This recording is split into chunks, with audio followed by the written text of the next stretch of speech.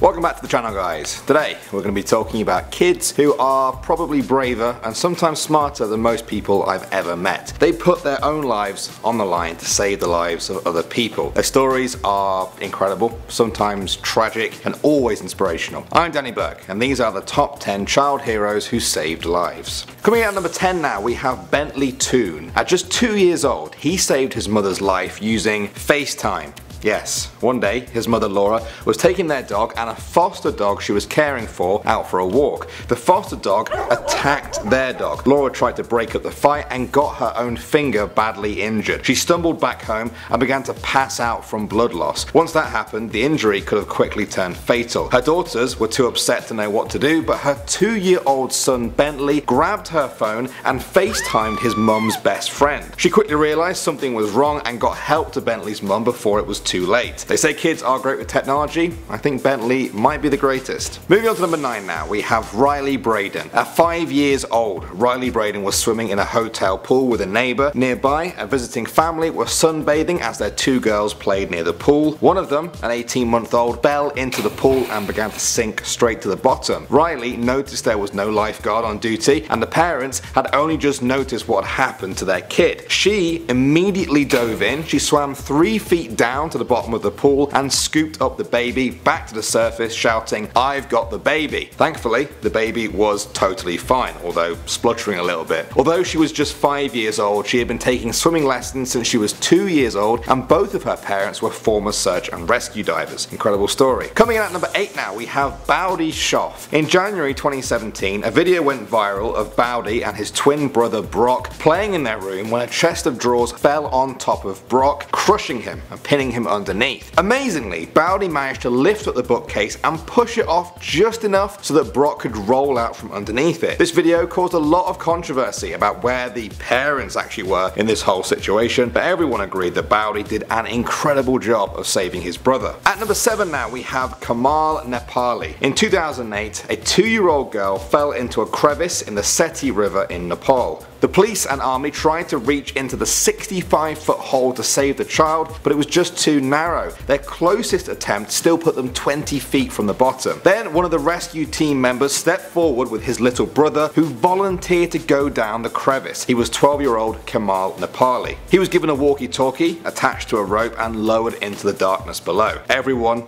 was on edge. But then, after hours of trying to rescue the girl, Kamal appeared at the surface with her bundled in his arms. Her father said Kamal was now their son, and he also received many awards for his courage. Next up at number 6 we have Tamar Boggs. In 2013, 5 year old Jocelyn Rojas was kidnapped from her front yard in Pennsylvania. Police searched the area for hours. Locals, like Tamar Boggs, tried to help. It was then that the 15 year old and his friend spotted Jocelyn in a car with a man about half a mile away from the scene. They chased after the kidnapper on their bikes for 15 minutes. The kidnapper then eventually got spooked and let Jocelyn go. She ran to Tamar and said she needed her mom. The kidnapper was eventually caught thanks to Tamar's description of him and Jocelyn's family calls him their hero to this day. Incredible stuff. Coming in at number 5 now we have Anaia Tucker. In 2011 this 9 year old girl from Georgia USA was walking with her 5 year old sister to get the school bus. Suddenly a truck swerved off the road right towards them. In an incredible act of bravery